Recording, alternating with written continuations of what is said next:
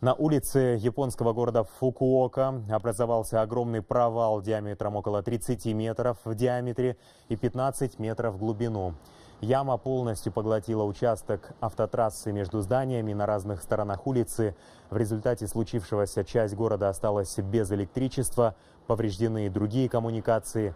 Специалисты опасаются возможного обрушения близлежащих зданий. Весь район решено эвакуировать. Эксперты выясняют, не связано ли ЧП с проведением работ по строительству новых станций метро.